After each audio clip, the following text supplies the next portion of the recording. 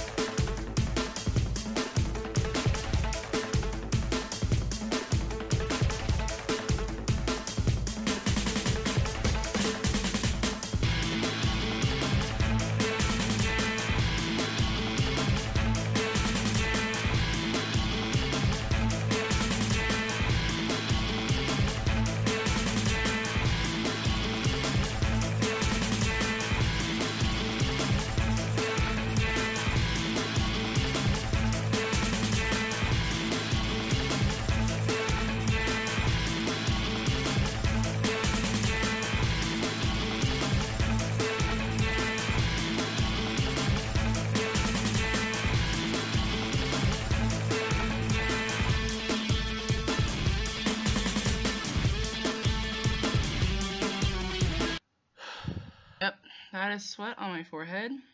Yoga is no joke.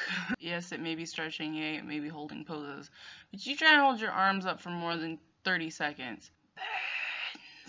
I realized I didn't put what yoga I'm doing. The yoga that I'm actually doing I got at Target back in like 2013, so I don't know if they still have it. But it is this one, AM PM Yoga for Beginners by Element the mind and body experience.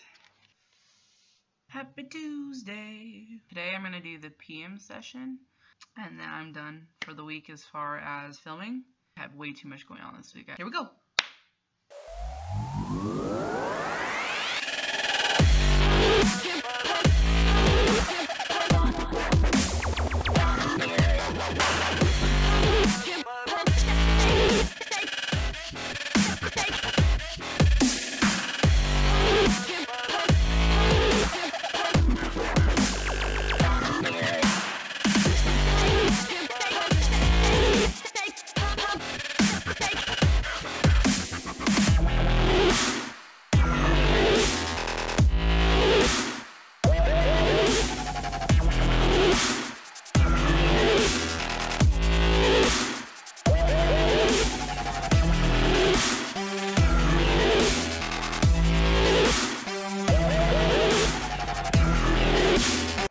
Guys, that was the PM session, and obviously I'm not sweating today.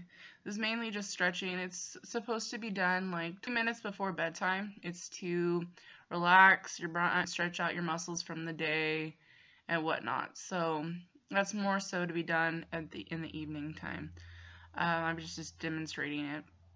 And Monday I'll do a, another weigh-ins. Friday I'm gonna do another bloopers and outtakes. So that should be interesting.